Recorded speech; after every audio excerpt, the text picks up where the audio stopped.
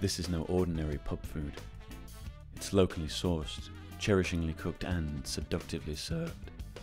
With dollops of Yorkshire humour, nine ensuite rooms, and a wine cave for weddings, we've got it all.